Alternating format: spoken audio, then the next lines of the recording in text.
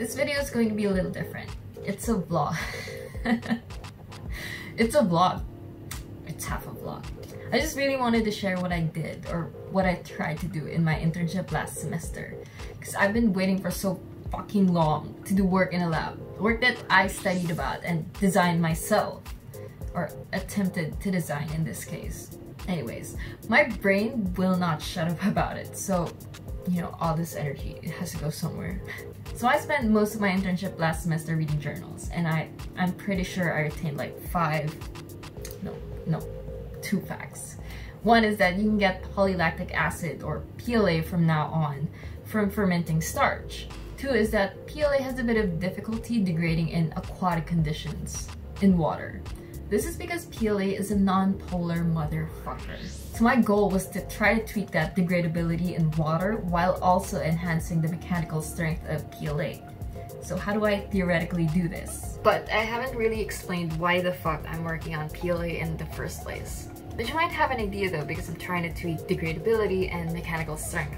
I want to see how PLA can be as a plastic alternative. Ah yes, plastic. This motherfucker right here, and not so enemy enemy. Because plastic is incredibly useful and cheap. All you gotta do is dig a hole, probably disturb a lot of people living in that area, purify that petroleum, make it into a pellet, and reshape it into whatever form you need it to be. But as you probably know, disturbing people and animals living peacefully in their homes isn't really cool. And a lot of plastic ends up in our oceans, where it breaks down into microplastics and those enter our marine ecosystems.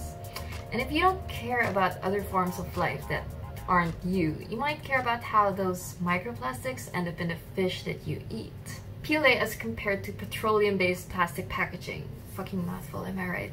PLA degrades in more practical conditions. It degrades from its long chain form, its polyform, to its single form. But it's not that easy to replace petroleum-based plastic with PLA because PLA isn't as strong as PET or even LDPE. So you want to work on that by placing fillers like cellulose. As soon as my reagents arrived, I got to start actual lab work around late June. I only really spent the first two days fucking around though. The specific goal was to make these PLA nanofibers through this electrospinning machine and by placing carboxy methylcellulose and calcium oxide, I want to see which concentrations optimize both degradability and mechanical strength. In my first set, I made 2.5% PLA in water.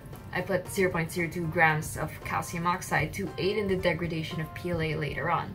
And calcium oxide isn't an acutely toxic substance.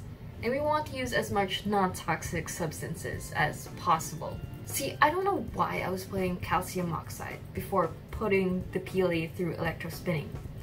But I should have put that after, when the supposed plastic alternative made of PLA nanofibers has already been used up and you want to degrade that PLA. I don't know what the fuck was going on in my brain then, but anyways. Here's me on my first day micropipetting water because I didn't want to accidentally dump the water in the vial. And considering me, there were high chances of that happening.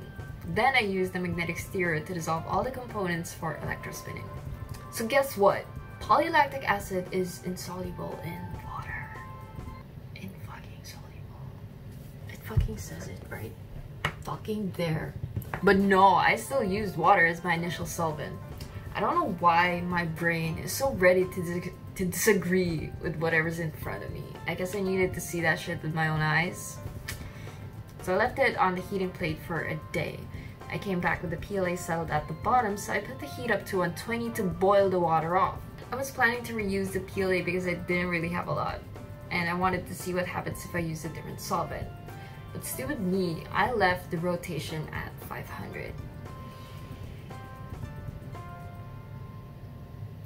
Not considering the fact that when the water would be boiling off, the magnetic stirrer could be kicking out the solute inside the vial. So I came back after my four hour lab class that day and I saw this chunk of PLA on the table. I hope nobody saw that because oh well, what the fuck am I doing? So I did another set. I used DCM as the solvent because this paper says that DCM can dissolve PLA. But the problem is DCM is super volatile. I'm going to be putting this solution through electrospinning and if my sample is too volatile, the machine's going to keep stopping. In electrospinning, we want the solvent to evaporate after it's delivered our solute to the roll here. If the solvent is too volatile, all the solute will just clump here. Since at this point where the solvent is exposed, it doesn't take a lot to evaporate it. So I have to make a co-solvent to increase the boiling point of this DCM.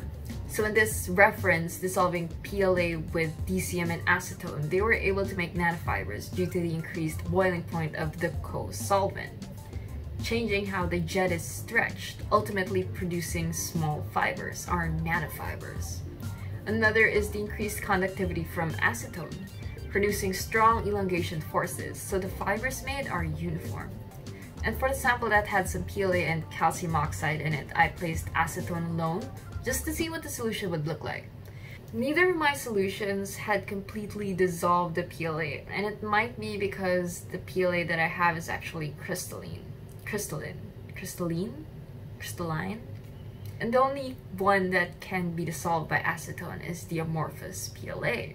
I then put the solution with DCM through electrospinning. I remember it was a Sunday and I was so happy to go to school in my free time.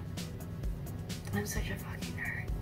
So this is me waiting on my electrospinning thing to finish. No, I don't wear socks and sandals, but we had these Crocs things in the lab so we don't contaminate the floor with our nasty shoes. I set the parameters based on these papers I read, but no I did not get any nanofibers that day.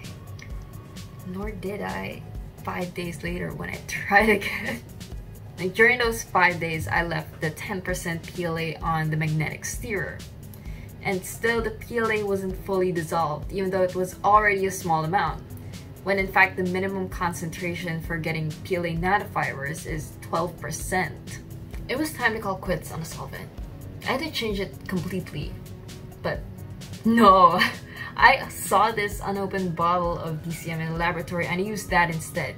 Turns out PLA does dissolve in DCM. It's just that I used DCM from a sketchy looking bottle and I shouldn't have done that. Problem was now I only had 0.6 grams of PLA left and that's not enough to make a 12% solution because I need to use 10 ml of DCM to put that through electrospinning. And that's already less than the minimum amount that this grad student told me to use.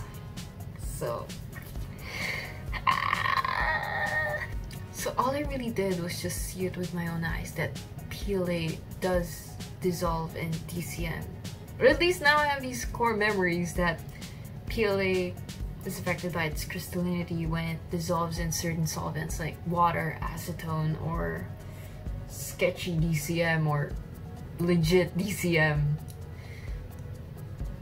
And there's also me with these hand there's also me with these hands-on experiences on the electrospinning machine and knowing that there are these multiple parameters that I can modify. There's this voltage component that is supposed to break the surface tension of the solvent so if your solution is too viscous, you're going to need a higher voltage to make those clean fibers and not just have your needles spewing out random crap. But then again, you have to consider the boiling point of your solvent system. If it's too low, your needle's going to clog up. If it's too high, you're more likely to get beads instead of fibers as the solvent hasn't completely dried by the time it gets to the roll. So that's my journey with 3 grams of polylactic acid and the electro machine thing. I will probably make another video when I get those PLA nanofibers. When, not if. I will make those nanofibers. I just realized I'm making a promise to a brick right now. That's kind of weird, but anyways. Thanks for watching me nerd out about polylactic acid. Check out my other videos and I will see you next time.